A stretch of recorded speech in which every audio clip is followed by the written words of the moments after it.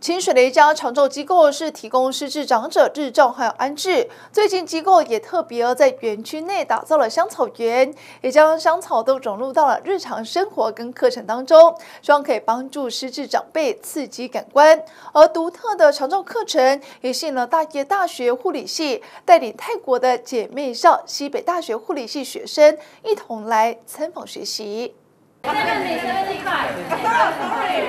在老师带领下，学员们学习制作香草肉排汉堡。不过，这可不是烹饪课，而是清水一家日照中心为失智长者所设计的香草手作课程。这天，大业大学护理系特别带领泰国的姐妹校西北大学护理系学生一起来参访学习。Today, uh, is the cooking activity in this and 今天非常的幸运有这个机会来参加这个怎么去做这个汉堡。然后他感到非常非常兴奋，这样子。I think our student today was fun because 他觉得很高兴有这样机会，学生可以透过一些很愉快的方式来做自己的餐点，而且他知道这些餐点实际上对怎么去做出来，而且怎么来去照顾老人家，那可以再去使用这个餐点。所以过程中这个这个他们自己都觉得蛮有趣的。主要透过今天的活动，让他去理解在我们。台湾，特别是在我们永信这边，他如何透过一些日常生活的一些活动的设计跟参与，让老人能够呃更健康的一些生活。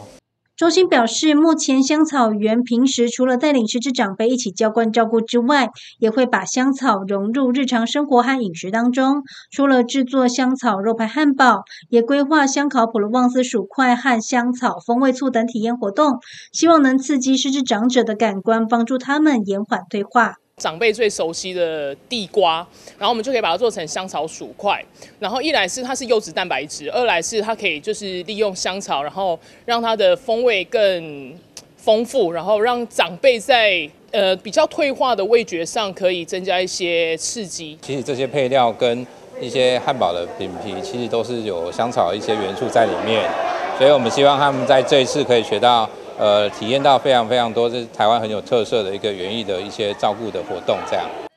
难得的初体验也让这群泰国大学生直呼相当有趣。消防也表示，目前泰国的一般长照都是在家里居多，很少有这种机构和体验。这一次前来取经学习，可作为日后参考。记者陈博汉台中采访报道。